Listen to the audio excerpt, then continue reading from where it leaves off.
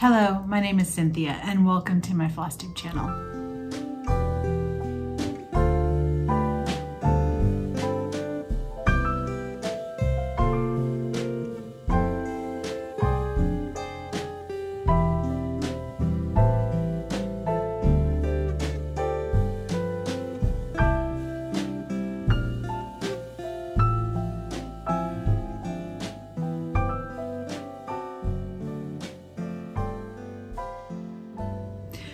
Happy to be here with you today to talk to you about my stitching, about some framing and previous finishes, and a new sampler finish that I just got on the wall yesterday. Um, today is Tuesday, April 16th. I'm going to try from here on out to film on the 1st and the 16th so that I can capture my two week stitching rotation, a way to try to hold myself accountable and also to be more regular in my posting on YouTube.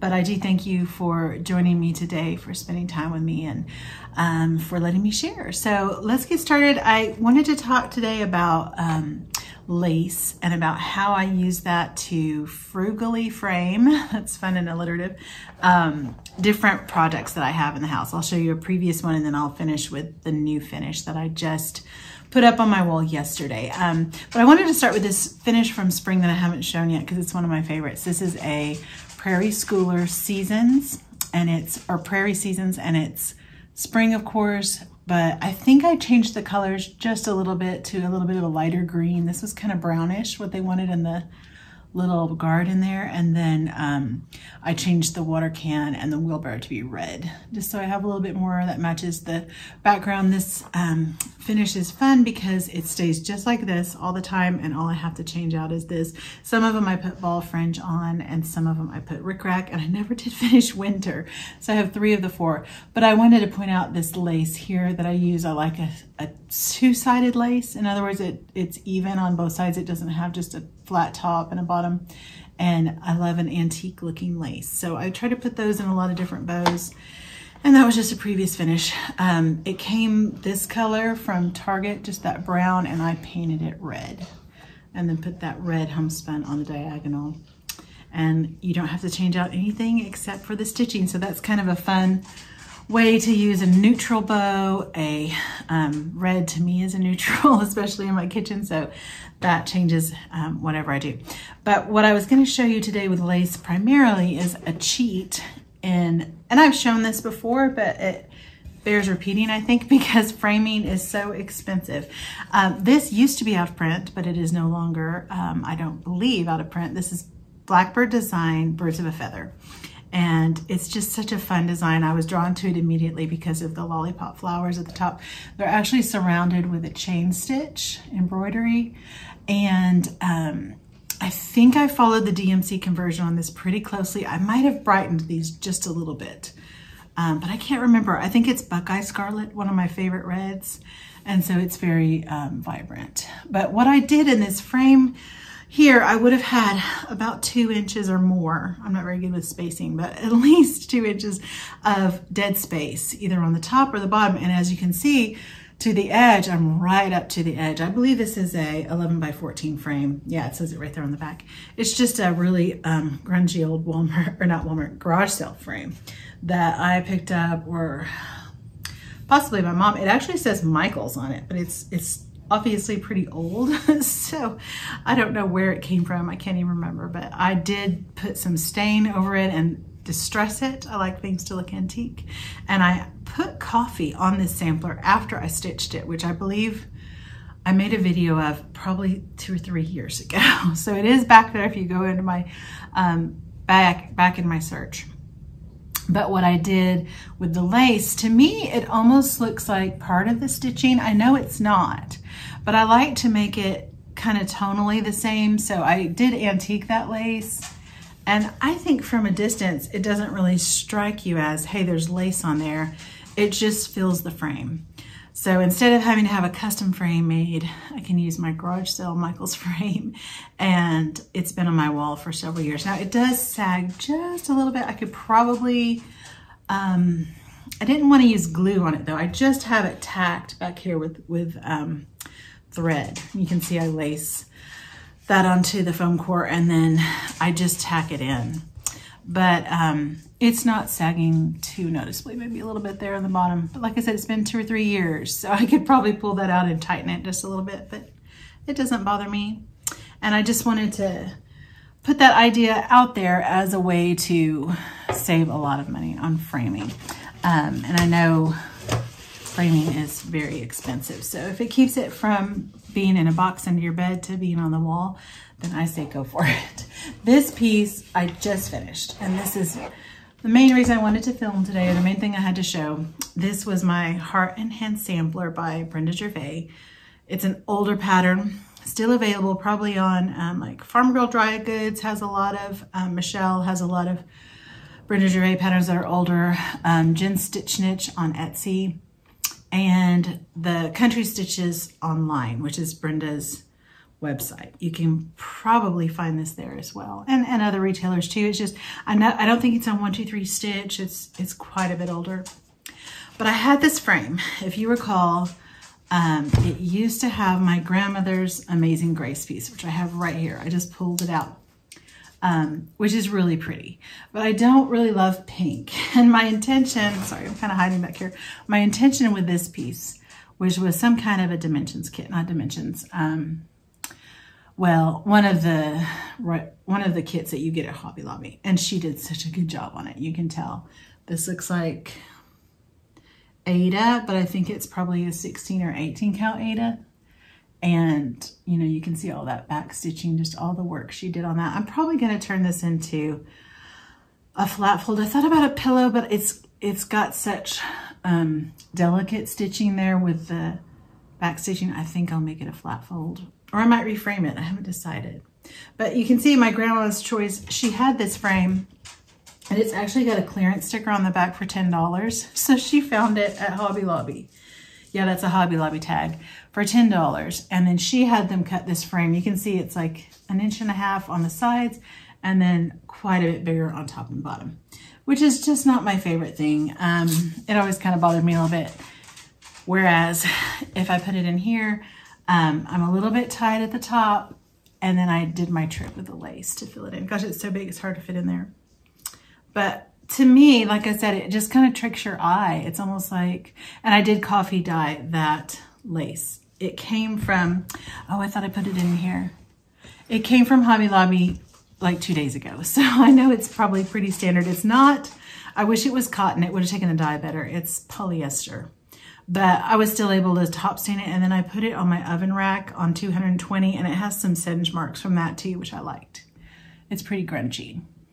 But it just filled in those sides so that I didn't have no space at the top and then an inch on each side. It's all the way full. I wish I had a little more clearance on top and bottom, but again, the difference with having it under my bed in a box.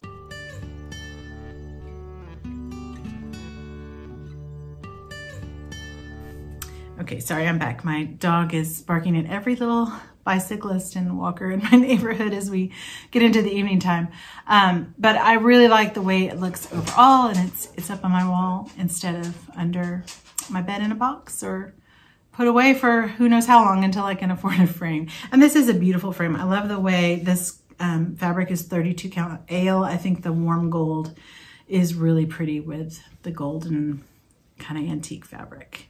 And one thing I wanted to point out about this, I think the difference um, with this piece, and I don't like it for every piece or not every time, but sometimes I just really like the, the bolder colors. And I know that's personal preference, but on this piece, a lot of times you see it stitched one over two on like 36, and it's gonna be a lot more muted. So doing two threads, I know some people just really hate that. It really is pretty though. It really does show with the colors. They really do pop. So to me, it's worth it. It doesn't bother me that much. I'm not super picky about my stitches lying perfect. I wouldn't use like a laying tool or, but it's not going to the fair. It's just hanging on my wall. so that's just something to think about because um, unless you're doing like a 46 count linen or higher, I would argue, um, you're not going to get this dense a coverage or brightness in your piece unless you use two stitches or two strands. So just something to think about. I do. I will list the colors I use below. I want to say I use mostly what Brenda Gervais um, put on the list, except she did not do a DMC conversion. A lot of times she will not. It just had the Gentle Arts and the, um, I believe it was mostly Gentle Arts. It might have been a classic color worker too, but I just looked at the picture. Oh, and here's the original. It was done on the bluish gray dove. I just looked at the picture and then I picked a um, floss myself. One of the ones that was a standout to me, um, I thought it turned out really pretty, was the Wicked Stepmother um, Burgundy. And this is supposed to be, I think it was a currant. Is that how you say that? C-U-R-R-A-N-T from Gentle Arts, which is a really pretty floss. I just had this one already and I wanted it to be kind of a burgundy red for the barn. And this is called Jolene by um, A Wicked Stepmother. So that was kind of a standout color for me. Turned out really pretty. And then I used 3777, which is a terracotta um, color. And in the original chart, um, no, she called for mulberry, not currant. It was mulberry and um, another orangey red, just a terracotta, I think but I ended up using 3777, which is a dark terracotta. I, I like to use this for Santa Clauses, believe it or not. That's one of my favorite reds for a Santa. Just kind of a dark, dark terracotta. But um, those together were my berries, and they have, you know, just enough of a contrast. I don't love the green I, I picked. I wish I would have picked a little bit deeper. This is a Victorian Motto. Victorian Motto sampler. If you realize last time I said Victoria's Secret thread. I don't even shop there. I don't know where that came from, but Autumn Hayride is a pretty green. But um, I would have gone with my favorite DMC greens are 3011 and 3012. Those are the closest conversions for um, DMC, or not DMC, Gentle Arts. I think it's Endive or Endive, however you say that. But um, Blackbird uses that color a lot, and it's my favorite green, 3011 and 3012. And I used 3012 for the inner green, but I used that Autumn Hayride, and it's not my favorite. It, it, turned out okay, but it was kind of one of those, once you get started, I didn't want to rip it out and keep and uh, change it all, so I committed to it. But there's some close-ups. I might put a little video of it close up as well. And that was mainly what I wanted to share with you. I'll show you the back. It's not pretty. Um, in fact, I was trying to tighten that lace a little bit and I just ripped the shred, ripped that back, but I just um, lace it like that and then I wrap the lace around the back and stitch it. And then it's not perfect. It could be a little straighter, but I got it as straight as I could. So just wanted to share that tip with you as a way to um, frugally frame, like I said, not to um, get too concerned about things being perfect, but to fill in the space just at least visually. And definitely I would um, recommend antiquing the lace so that it matches the linen. If, if that was a white lace border. I mean, if that's the look you're going for, but I think it would make it stand out as, hey, there's lace on there versus your eye from a distance just looks like the frame is fitting better. So there are my lace um, frames and I wanted to show you the few projects I've been working on and one pattern that I pulled out to show you. And I think that's it. So hang on just a second, let me get my WIPs. Okay, I fully intended to have this finished and it is very, very close. I'll probably finish it this evening, but I didn't have time to stitch it up. And I have some lace that I wanted to show you kind of in keeping with the theme of finishing with lace or framing with lace. This is the Antique Birds piece by uh, Shakespeare's Peddler. I wouldn't call it a sampler, it's just a little pin pillow. But I am stitching this on 36 count Country Mocha. It's actually the other side of my Hawk Run Hollow. um, and I have enough to do the cats on the back, so, or on the other uh, half of this linen. So um, I'm just using a solid blue. I think it was, the example is in black. She, she said you could use whatever color you want, but I really like it in blue. I dyed some corduroy from an old pair of tan corduroy pants at the same time I dyed um, I don't remember what I dyed. it was a while ago. I had this and then um, what I intended to finish it with was this antique um, tablecloth. And I've talked about this before. I know I finished my Marian Librarian with part, the other side of this bullion stitch. And you can see there's lots of stains on here. Um, This is in really, really rough shape. I cut it up there, but it was already, you know, shredding like this. It was priced at $3 and I know I got it for a dollar fifty. So my intention though is to find some piece of this lace and it's very bad damaged, um, in bad shape, but I'm gonna put that with the, um, with the, the pin pillow and put it in my bedroom. I also found, I was kind of kicking this idea around as well. I have this one from my mother-in-law. There were a ton of these. And um, I just probably won't ever put that out in my room, you know, in a bedroom or anything. And it has, I think it's blood or something on it. So again, I don't want to waste this hand crocheted lace though that my either my mother-in-law or her mother did. I'm not even sure who. So that also would be pretty, I think, to have that variegated lace. Um, and I know there was an Instagram video, is it Yasmin, Made with Love?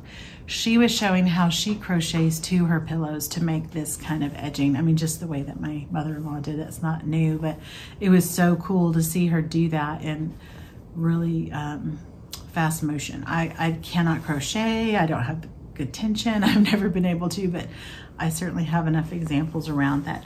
I might use that or I might use both. And then the same fabric that was on the back of the other pillows that are in my bedroom. So I will show this to you next time with the lace on there, but always um, try to find reusable things if you find anything at flea markets. I, I just hate to see people's handwork put in a garage sale or at the Goodwill. So if I can use it, I try to rescue it. And um, this was some examples. Even though they're not colors I would use, if you see part of them, you know, for a dollar, I could never buy that at Hobby Lobby for that. So that's another use for lace, especially antique lace. And then I also did some work on my spring Cricket Collection that I've shown y'all. Um, it is kind of old and kind of not usually my style, but for whatever reason, it was just really calling to me and it's really fun to stitch. It's just bright and fun. This periwinkle fabric that I dyed, I put in that cloud. I loved that variegated thread from think that's a Victorian motto, actually. It turned out really pretty, though, the way it looks in that cloud. And then I started the umbrella. I actually ran out. Um, this is a caution for my system of putting this on a file um, folder. I didn't have enough green for the R, and I was panicking because I couldn't find that um, Victorian motto thread. It's probably been five years that I've had it and I actually found it in my Mary Needleworker, which I'm gonna, or Mary Mary Needleworker, which I'm gonna pull out again.